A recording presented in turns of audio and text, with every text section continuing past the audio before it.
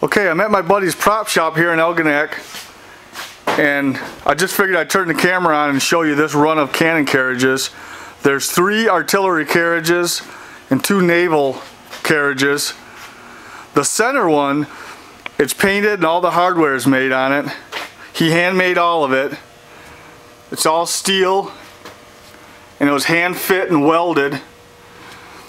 Here's the trunnion cap and there's a there's a hinge up here that this this goes into and then a pin to hold it. So this, it fits real tight and there's an elevator screw in the back. Get my camera in there.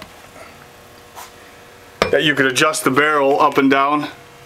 And then if you want to take the barrel off for transport, you just pop these pins here and the barrel will come out. It makes it a lot easier to to transport. Oh, see how easy that is.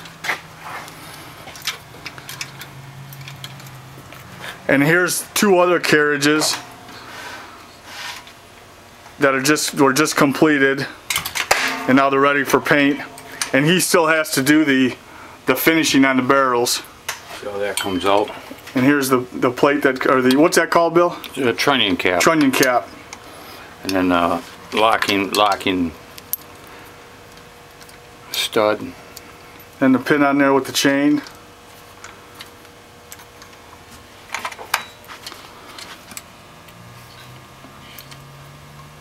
There you go.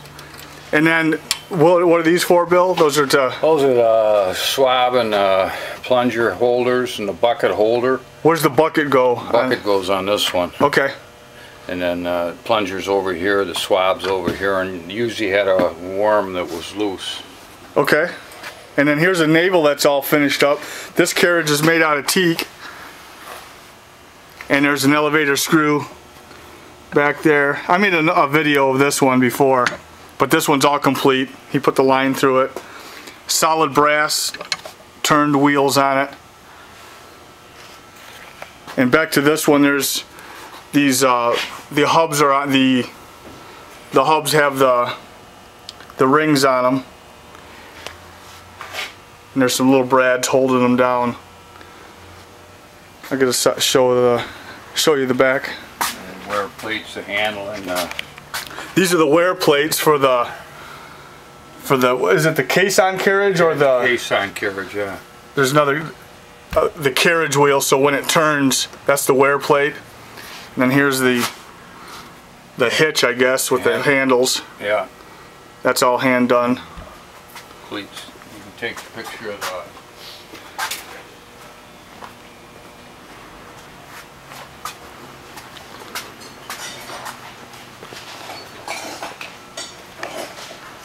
So this is the first run.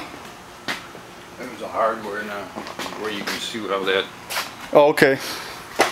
What's this called, Bill? That's a, uh, the trail fitting. That's the trail fitting. He made two others. He made all the he, he made all the parts for these ones that are in bare wood right now. There's the handle, the wear plate that goes on here.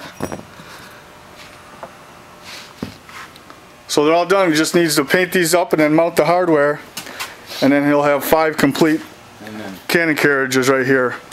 there's the, the roll of the, the tire. This is the tire before it's welded and fastened on the wheel. And then there's there's that brass bushing with a solid stainless, it's three quarter inch diameter axle going into the axle body. So I just wanted to start the camera and then show you the, the finished carriage.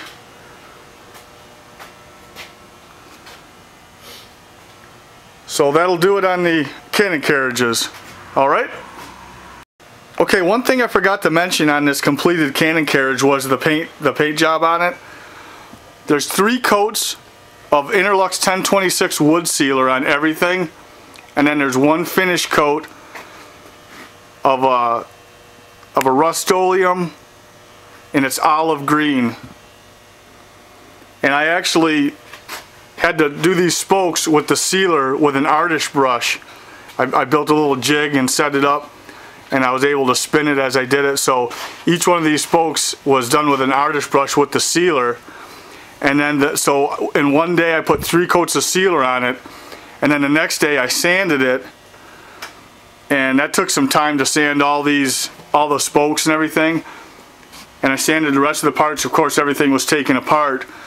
And then the next day I sprayed it. I had this on the same jig and I was able to spin it and it took only about 10 minutes to spray it. So that worked out well.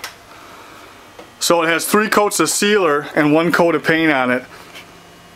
And that's, that was an ex, you know, the sealer was exterior as well as the finish paint. So it's a good durable finish. So I just wanted to start the camera up and, and show you guys that, okay?